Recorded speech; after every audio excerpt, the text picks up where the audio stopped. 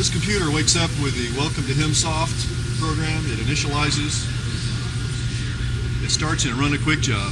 Now I'm going to change over here left-handed. Most of the programming they're going to do with this stuff is going to be a quick job, which is just basic cuts, automatic cuts at a given length, given quantity, and a given angle. To run a quick job, you select Run a Quick Job, press F1. It asks you three things. It asks for a length, an angle, and how many parts you want. We want a part that's 24 inches long, tell 24 inches. Press Enter.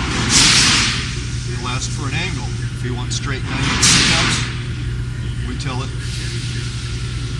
90 degrees, press Enter. It'll ask how many parts we want. We want 25 parts, we tell it 25 parts and enter. And then all you have to do to make the thing run is push run. Which I won't do because this machine's not finished. Uh, to bail out of the program, push escape, it goes back to the same opening main menu. Let me do that again. We're going to run a quick job. Run a quick job, program want the length, we'll tell it 1.5 inches. Clear. 1.5. Enter. Inch and a half. We want these 85 degrees for. Enter. We want two parts. Two parts. To run. We'll go back to the main menu. Now we're going to do a somewhat more complicated program. This is a bar where it has uh, a length and an angle, a length and an angle, and a length and an angle. Uh, that's that you can't do with a quick job. You have to do this with a program series. And it's really fairly simple. We're going to program this cut first. First, we're going to put in the job data. We have to program three separate jobs. We're going to program job 97. And these job numbers are arbitrary. You can make any job number you want as long as you know where it is. We could program job 1 or job 19 or whatever. I'm going to program job 97. Going to ask for, we're going to edit. Uh, the length is going to be uh, 64.768, 64.768, 8, enter. The angle is 68 degrees, 68 degrees, one part. One part. So that job is programmed. Now we're going to program job 98. 8. Enter. Am I blocking the screen? You're okay.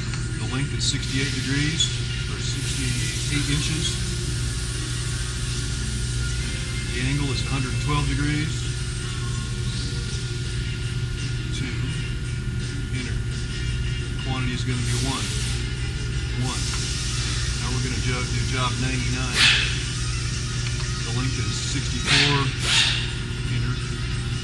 The length is 64.768.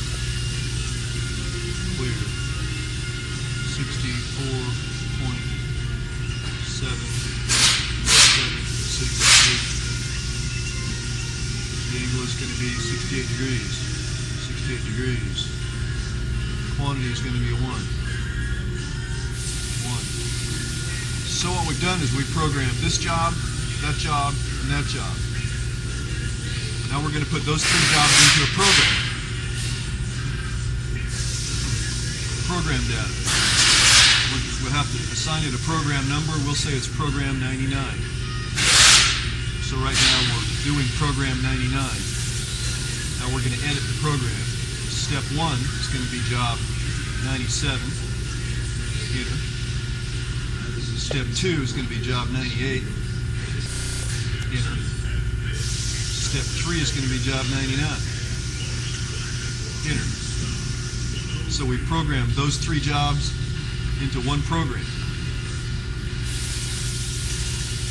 Now to run this program series, we tell it run which program. It's going to be program 99. It'll ask how many times we want to repeat it. We'll repeat it five times. By repeating it five times, that means it's going to cut this one, this one, and this one. Then it's going to repeat this one, this one, and this one five times. So it says program 99, repetitions five times. If I press run, it'll run the job.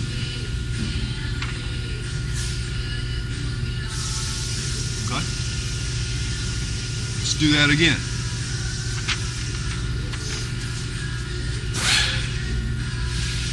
And also you can go back and look at job data. We can back, back job one is already programmed for one part 22 inches. We can use the arrow keys, you know, or we can edit that. If we go up and look at job 97, this is the one that I just programmed. Job 97, the length is this, the angle is that. Let's show how easy it is to edit. Okay. Uh, Uh, let's say we want this to be 65 inches flat instead of 64.768. Press the edit key. Boom. Cursor down to, to length. 64 inches. Enter. So now it's 64 inches. We want the angle to be 70 degrees instead of 68. We can just go in here and punch in 70. And that's it. If we want to erase the job, we can press clear and it's going to disappear. But all we have to do is escape, and that job, that's what that job is. We can look at job number 98. And it just has a, it, it, it has a memory so it can remember these jobs.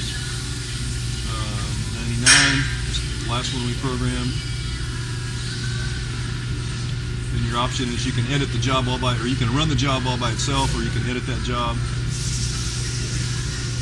The program data, program 99, we call that program 99 to say that it has job 97, 98, and 99 already programmed into it. If you want to run them in different sequence, for instance, let's press edit. We're going to say job 1, we can say that that's 99, 98, we can tell it to run the job backwards. So it goes 99, 98, 97. Just that easy. And if you don't know what a particular job is, you say, well, what is job 99 exactly? Press the job info key. It'll, it'll tell you that's the length, that's the angle, and that's the quantity. We can go down and look at step two, job 98, job info, that angle, uh, that length, that angle, that quantity. That's basic programming. There will be a pop quiz. so that uses the four different keys on the from the main menu. You can run a quick job, and it'll remember what the last quick job was. If you want to change the length, let's say that now we got a different job, 24 inches, we'll tell it, or 12 inches. Uh, we want a 90 degree cut, straight 90, and we need 100 parts, 12 inches push run, and that's programming. Sometimes you hate to say that this is programming because this isn't programming. It's not really data entry. It's telling the saw what you want it to do. I want to cut 100 parts, 90 degrees, 12 inches long. And, and you know, people hear the word programming, they think, "Oh my God, I've got to, I've got to have a computer." Well, it, it's you, you do it all with these keys. Let's go back to the main menu. Okay, so these are the these are the things we've done on the main menu. Uh, there's other things that the, that the computer will tell you. We'll do Alt menu. Alt menu allows you to, for instance, get into manual mode, system setup, or more. Manual mode, if you want to, you can do four things. You can jog the miter, which means move the arm a certain angle. You can enter a specific angle on miter. If you want it to go to 50 degrees, you punch that. If you want to move the feet a little bit or to a certain distance, like we can tell enter miter, we can select this. Uh, we can tell it to go to 90 degrees, punch in 90, press enter, and it's going to go to 90. Except this is going to say stalled because there's no hydraulic pressure. I can't really miter the arm, so this is going to be an edit. The saw's not really finished yet. Uh, if we want to enter a feed position, we can tell the feed to go to 24 inches, press enter, and it'll go to 24 inches. Except now it won't because there's no feed connected to that saw. okay. System setup.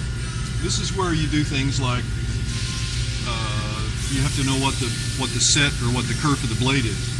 We can set the kerf. The default is at 65 thousandths, which is pretty close to what an 042 blade is going to be.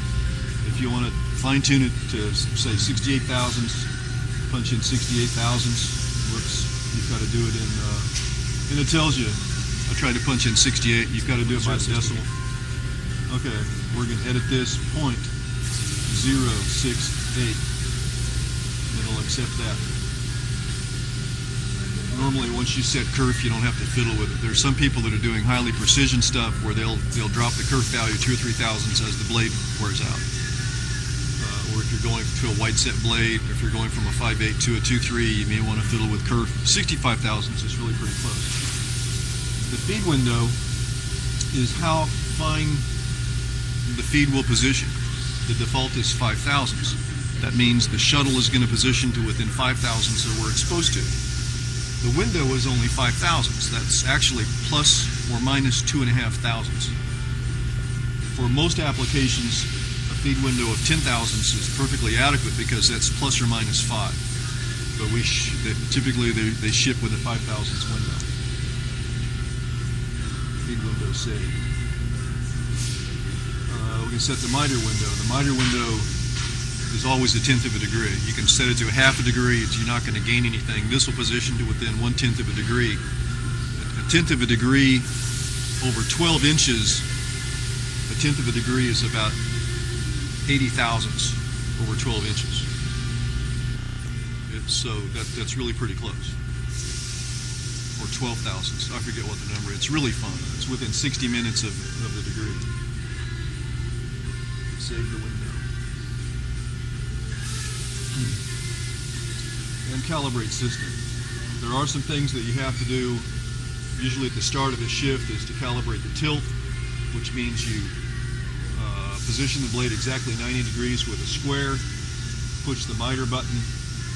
When, once the blade is 90 degrees, you push enter, and the feed is calibrated, or the tilt is calibrated. With, with calibrate feed, uh, this really doesn't do anything because it calibrates the feed every time it starts a job anyway to find out where zero is. Uh, that's all four of those things. More gets into the place where you have to have the security code. And we can look at some of the things on the security code 4821 enter. You can clear all the jobs, you can clear the programs, you can do some diagnostics, you can look at system parameters. There's a lot of variables in the computer that'll fine tune the machine for application things, for feed positioning, tilt positioning, things like that. One of the neat things is diagnostics, where you can, for instance, test the display. The display will light up all the way. That shows that every element in the display is working. There's nothing wrong with that particular display. We can look at, uh, we can test the keypad with this button. Let me back up and slow down. Test keypad. What this does, puts up little dots here on the keypad so that every key will light up. That way we know every key on this thing is working. F1, F2, arrow keys, enter. Every key is working. Escape.